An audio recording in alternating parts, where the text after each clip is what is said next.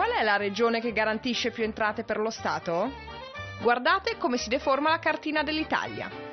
I due poli opposti del confronto sono nella parte settentrionale dello stivale.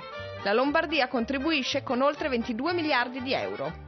Fanalino di coda è la regione a statuto speciale, il Trentino Alto Adige, con solo 502 milioni di euro. Tra tutti i paesi dell'Unione Europea, l'Italia è al primo posto per evasione fiscale. È il meridione a diventare enorme, con il Molise e la Basilicata in testa, che per ogni 100 euro versati ne evadono 64,47. Ultimo in classifica il Trentino Alto Adige, dove su 100 euro versati altri 20 non vengono pagati. Anche per il numero di frodi ai fondi erogati da Bruxelles, l'Italia non si fa onore in Europa, è sempre suo il primato.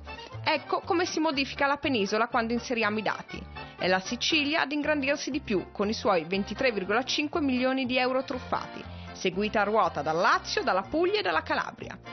È la Valle d'Aosta, già minuscola, a diventare piccola piccola, con solo 15.000 euro di frodi registrate.